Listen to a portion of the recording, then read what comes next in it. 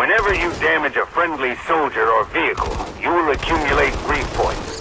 If you get too many grief points, we will disable your weapons.